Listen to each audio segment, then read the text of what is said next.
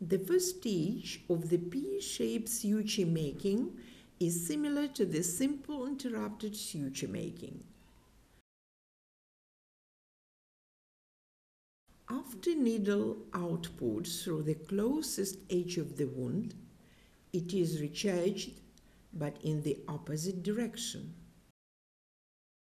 Having displaced the side by approximately 10 millimeters, the closest edge of the wound is fixed by tweezers and the needle input is made top down. Then the distant edge of the wound is fixed and turned from oneself